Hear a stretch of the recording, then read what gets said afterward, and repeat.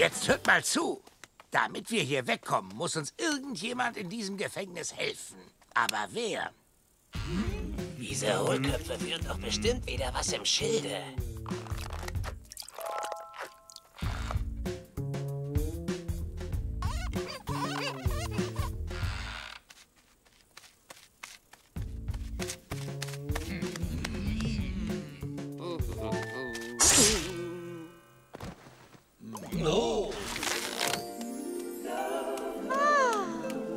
Aber ja, sie ist unser Ticket in die Freiheit. Warum sollte sie uns helfen? Vielleicht, weil sie in uns verliebt ist. Genau so ist es. Wir müssen sie verführen. Hopper, das ist schwer. Ich würde mich opfern. Ich auch. Na schön, ich auch. Auf gar keinen Fall. Ich bin derjenige, welcher. Denn ich habe den perfektesten Körper. Ah, hallo Jungs.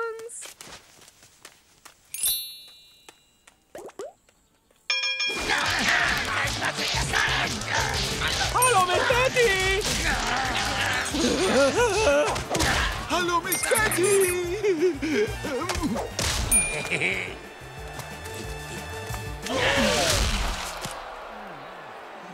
Sie haben Ihr kleines Taschentuch verloren.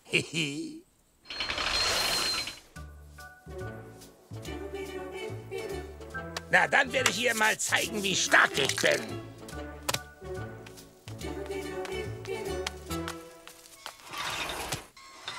Können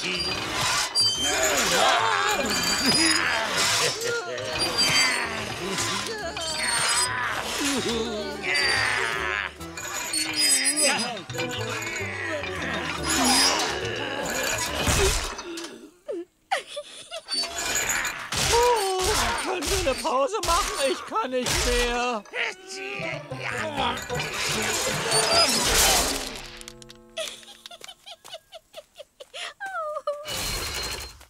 Das kriegen wir hin, Joe. Also in meinem Verführungsbuch steht, wenn man eine Frau verführen will, dann muss man sie unbedingt zum Lachen bringen. Hä?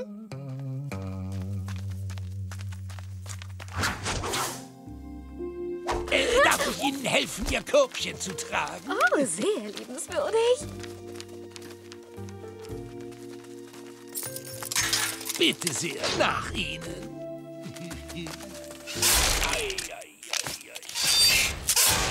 War mir ein Vergnügen. Sie ist nicht verliebt genug. Wir brauchen einen neuen Plan. Hier drin steht, Frauen lieben böse Jungs. Die machen sie ganz kribbelig.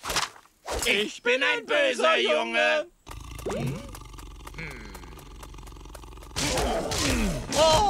So, was muss ich noch tun, um sie verliebt zu machen?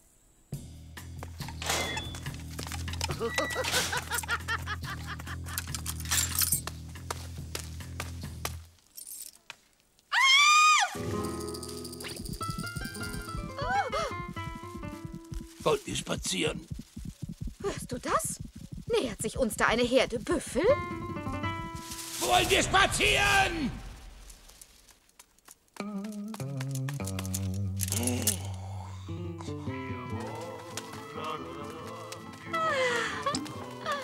Jetzt sag ihr schon irgendwas.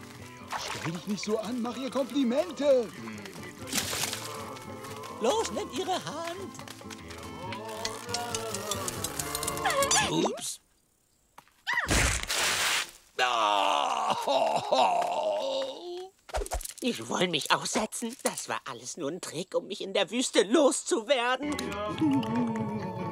Och, gib nicht auf, Joe. Du schaffst das schon. Du kriegst sie rum. Bleib dran, Joe. Es lohnt sich. Denk an die Flucht, das ist es wert. Ihr habt recht, es geht nur um unsere Flucht. Los, sagt mir, was ich machen muss. Sag ihr, was hier drin steht. Deine Augen sind wie... Erdbeeren. Aber nein, deine Lippen sind wie Erdbeeren. Deine Augen sind so blau und tief wie... Wie Erdbeeren? Nein, sie sind wie der Ozean, Joe. Wie der Ozean. Na, das wirst du doch wohl hinkriegen, Joe. Deine Lippen sind so blau wie die Erdbeeren in deinen Augen. Ah, nein. Ah, Wie war das bloß noch? Hallo, Miss Betty. Ihre Lippen sind so rot wie Erdbeeren, die im Ozean schwimmen. Joe, du glaubst, du liebst mich, aber das bildest du dir nur ein. Und außerdem liebe ich dich nicht. Warum? Was stimmt mit mir nicht? Hm? Ah! Ich habe zufällig alles gehört. Die schlanke Blonde hat dich abgewiesen. Na, dann lass sie diesen Zaubertrank hier trinken. Wir kleinen Tollpatschigen müssen doch einander helfen. Oh, natürlich, du armer Junge.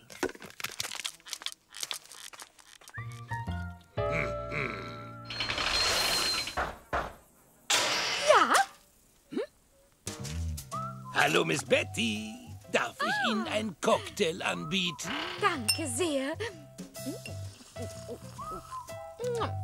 Deliziös. Ein wenig bitter, aber gut. Na schön, wollen wir erst knutschen und dann flüchten oder hauen wir gleich ab? Du hast wohl einen Knall. Ich würde mich nie im Leben mit einem Gefangenen einlassen. Nimm's nicht so schwer, Joe. Irgendjemand auf der Welt wartet auf dich. Ja, eine winzig, winzig kleine Mrs. Joe Dalton. Ja, die genauso tollpatschig und hässlich ist wie du.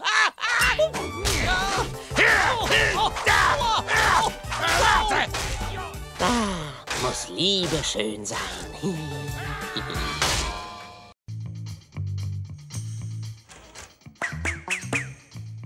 Wow, die Zelle ist ja vielleicht cool. Beeilung, suchen wir die Schlüssel.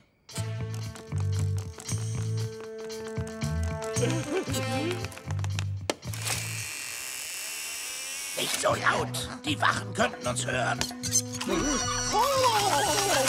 Hör auf mit dem Quatsch.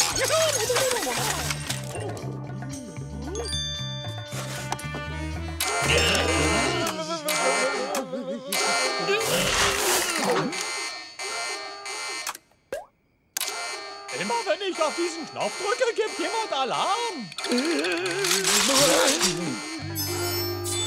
Bringt sie in ihre Zelle, aber legt sie vorher in Ketten.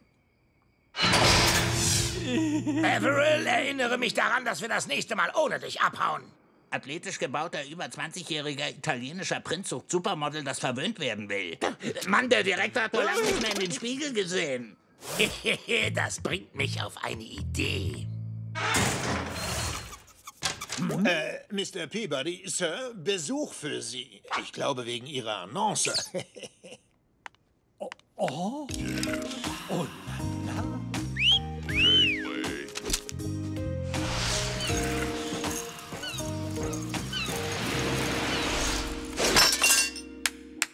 Peabody, Melvin Peabody, der Direktor dieses Gefängnisses. Und Sie sind? Äh, Samantha. Samantha Doppelknopf.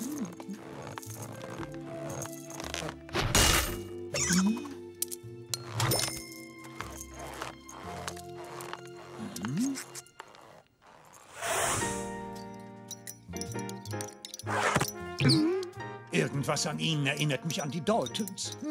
Die Daltons, die berühmten Kriminellen. Ich bin ein großer Fan von ihnen, vor allem von Joe. Sie meinen den kleinen hässlichen? Ja, nein, den kleinen Schnuckeligen.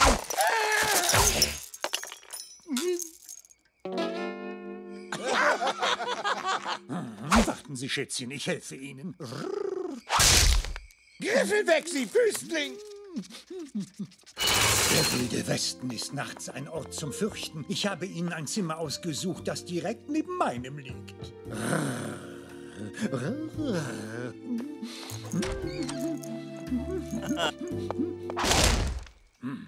Dem Charme des alten Melvin kann niemand widerstehen.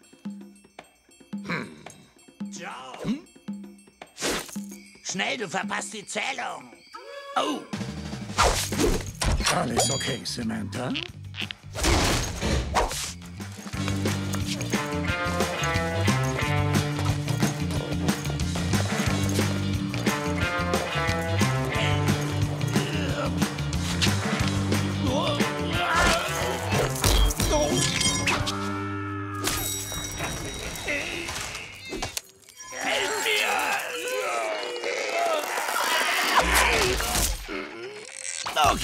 Morgen hat Samantha ein Dinner mit Peabody. Ja, und wir vier werden die Kellner sein. Versteht ihr denn nicht? Das ist die Gelegenheit für uns auszubrechen. Nur wir vier allein mit dem Direktor und seiner Freundin. Äh, Joe, bist du nicht diese Freundin? Daran habe ich nicht gedacht. Die Süße kommt zu spät. Wahrscheinlich macht sie sich noch zurecht.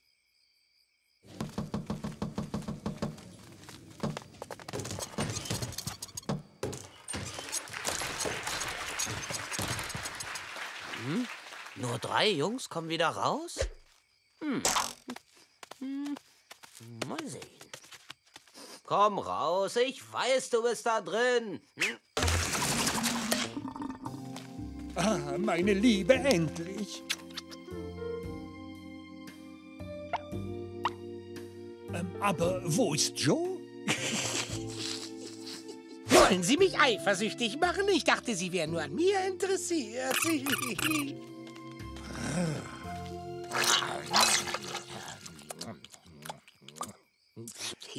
Was für ein Vergnügen, in Gesellschaft einer Dame von solcher Klasse zu sein. Von Vergnügen kann ja wohl nicht die Rede sein. Wie wär's mit einem Mitternachtsspaziergang? Nur wir zwei im Mondenschein.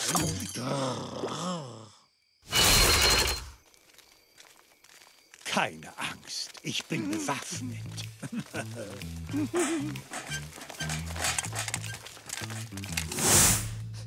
Versteck dich ruhig, ich finde dich trotzdem. Ich jage dich so lange, bis ich... Was ist denn das? Ho, eine Sternschnuppe. Wir können uns was wünschen, mein Schnuckelhase. Damen haben Vortritt. Hände hoch, Peabody. Samantha, was hast du denn?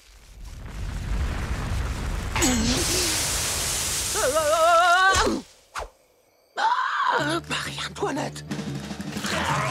Du dämlicher Köter, lass mich in Ruhe! Los, mach den Abgang! Samantha, Samantha, bitte komm zurück.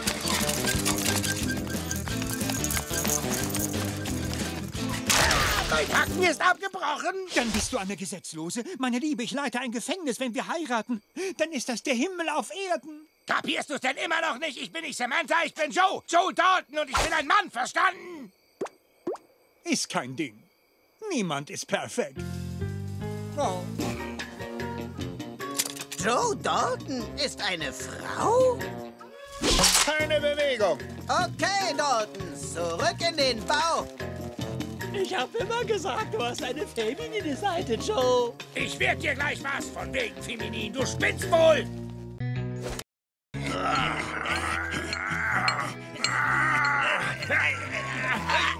Was für eine herrliche Atmosphäre von Freundschaft und harter Arbeit. Ah, Miss Betty, unser kleiner Gefängnissonnenschein. Kommen neue Gefangene? Nur einer. Sein Name ist Louis.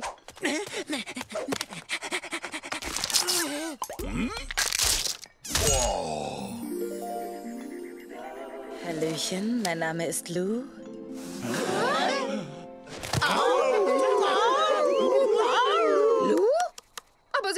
Geschrieben. Ich, ich, ich, ich, ich bin der Direktor. Hat der Direktor auch einen Namen? Mr. Peabody, aber nennen Sie mich ruhig George.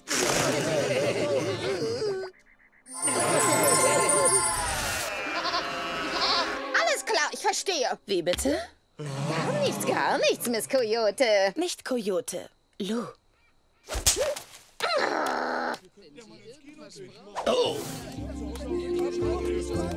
Taschen gepackt. Das Loch? Gegraben! Zivilklamotten? Haben wir. Wir sind abmarschbereit. Joe? Joe?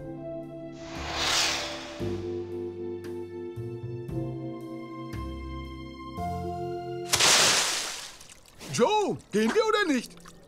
Nein, heute nicht!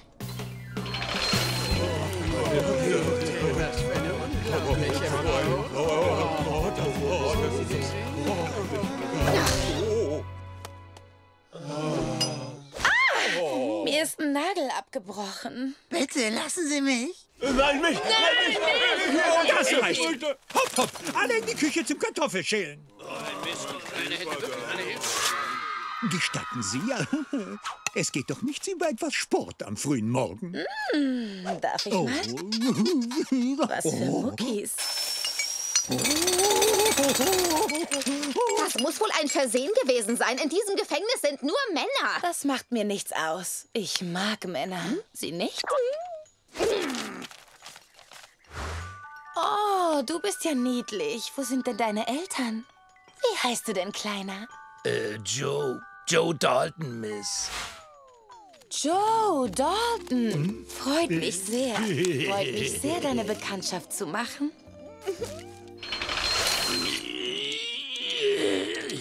Oh, du bist aber stark, Joe.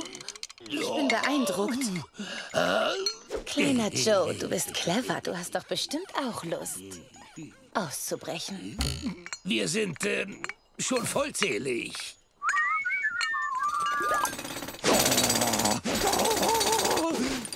Ich verstehe, wenn du natürlich lieber mit Jungs zusammen sein möchtest. Entweder die oder ich. Hey Joe, wann brechen wir endlich aus? Später.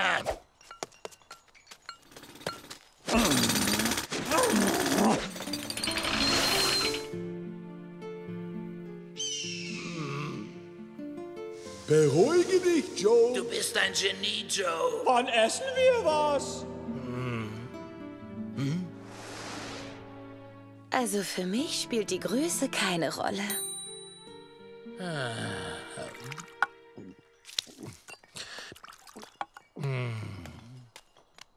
Brechen wir aus und beginnen gemeinsam ein neues Leben. Ja, aber, aber meine Brüder. Sie sind große Jungs, du musst an dich selbst denken. Ich meine an uns, an dich und an mich, an uns beide. Ich durchschaue Sie und Ihr mieses Spiel. Ein Spiel? Ich weiß gar nicht, wovon Sie sprechen. Naja, wie auch immer. Morgen werden Sie verlegt. Bye, bye, Coyote. Ich werde verlegt?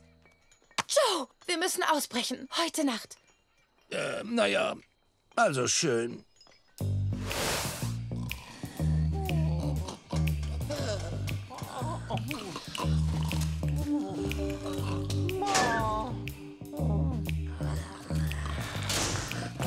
Ein Tunnel?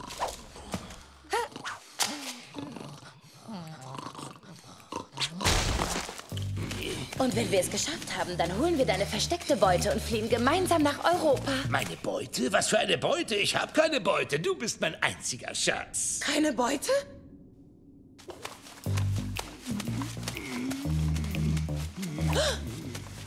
Der Ausgang!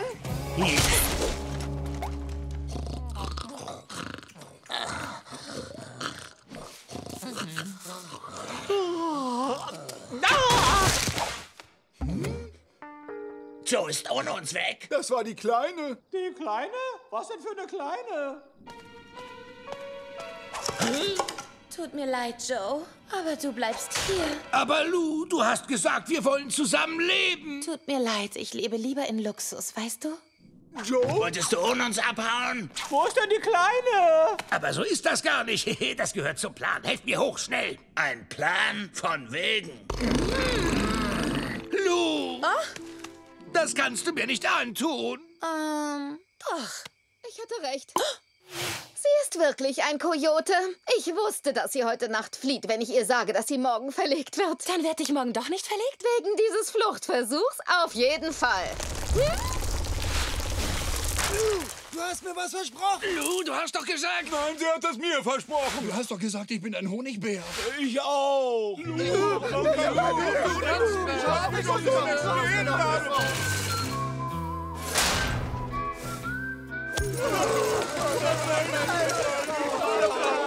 So, wo jetzt wieder alles normal ist, könnt ihr damit beginnen, den Tunnel zuzuschütten.